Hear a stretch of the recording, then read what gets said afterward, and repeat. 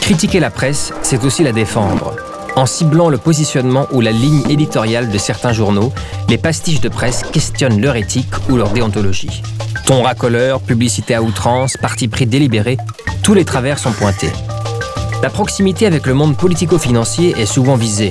Des directeurs de journaux dépeints en hommes d'affaires sans scrupules à ceux qui cumulent des fonctions politiques et journalistiques, personne n'est épargné.